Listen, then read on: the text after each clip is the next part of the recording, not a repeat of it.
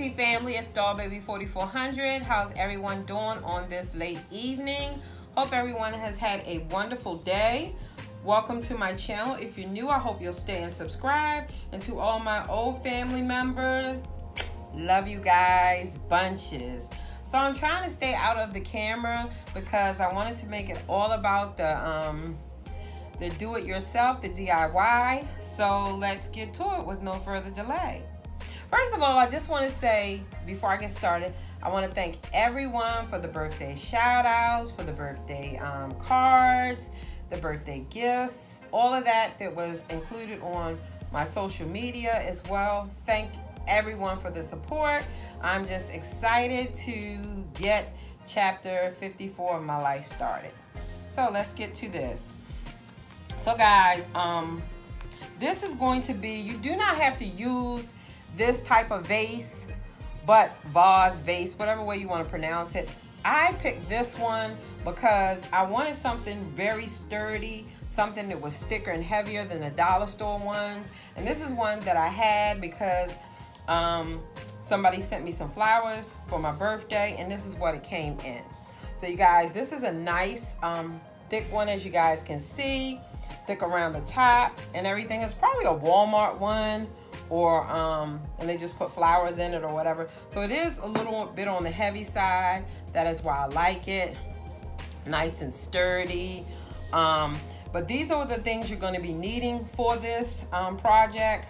Uh, the E6000 glue or whatever glue you like to use to secure your mirrors.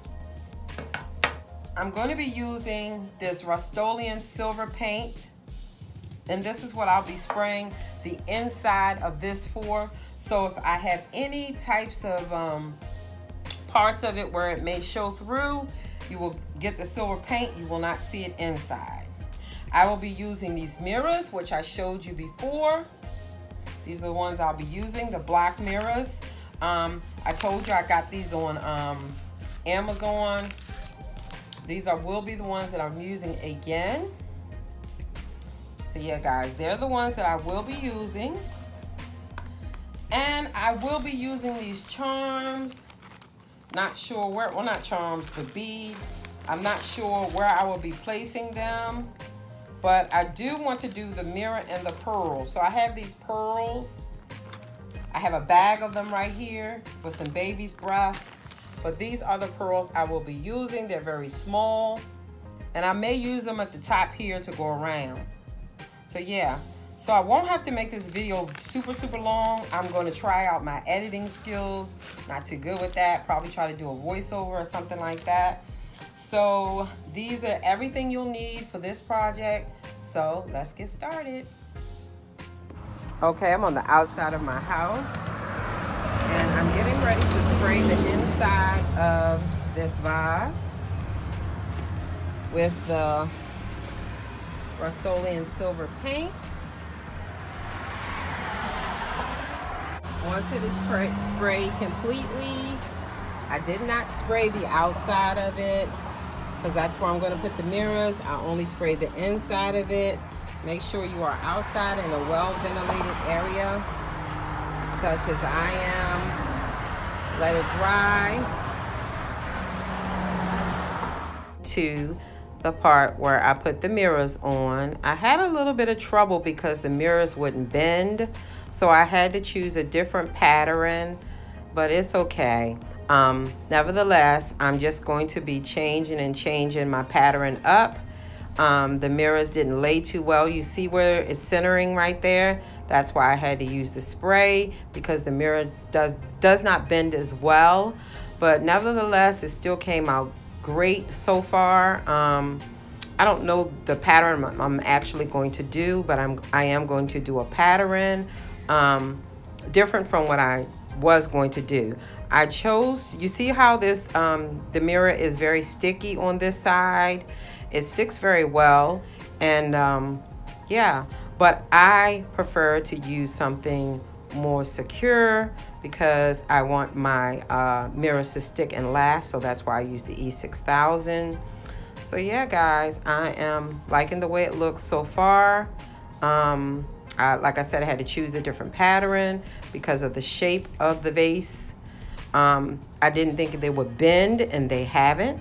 So, yeah. So, let's get to it, guys. Okay, guys, I am so overly excited about this vase, vase, whatever way you want to call it.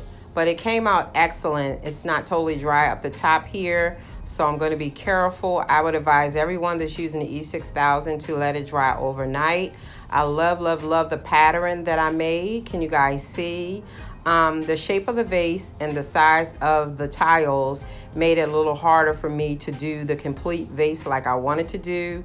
But I'm happy with the way it looks. I like that it's not all blinged out. So I'm very happy with it.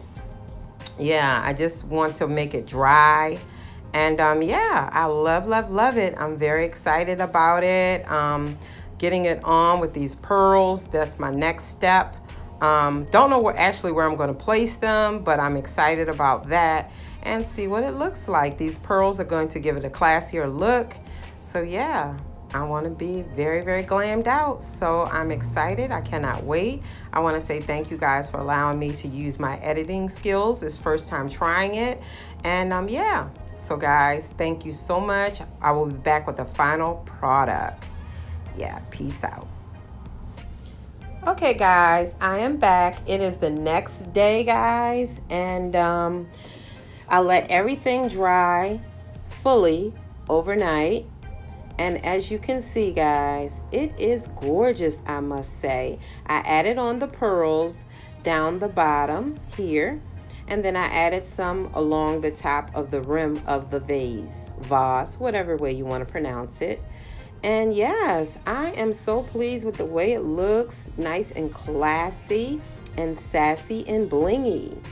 So yeah, I'm just saying that you must let it set overnight um, to get the full effect and nothing slip or slide.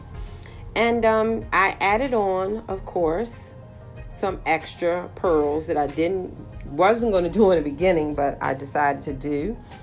And yeah, I love, love, love it. It is absolutely beautiful. Then I added on these flowers that you see in the vase. Yes, and I added on the pearls to match the pearls that are around the vase. I'm very, very happy with the look. These flowers do everything to it. Thank you guys for watching and subscribing. Love you guys.